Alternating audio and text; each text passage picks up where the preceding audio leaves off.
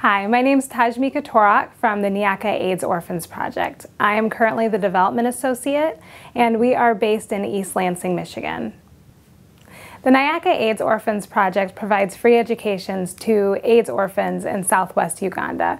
We combat poverty using a holistic approach uh, to create community development, healthcare, and education. Um, we're currently looking for interns who can fulfill a position with communications and also sales and merchandising for a microfinance program we have for our grandmothers who care for up to seven orphans. So if you are an intern that's interested in being a part of something amazing and fighting poverty every day, then you should contact Nyaka. To find out more about the Nyaka AIDS Orphans Project, you can visit our website, which is www.nyakaschool.org, and we'd love to hear from you.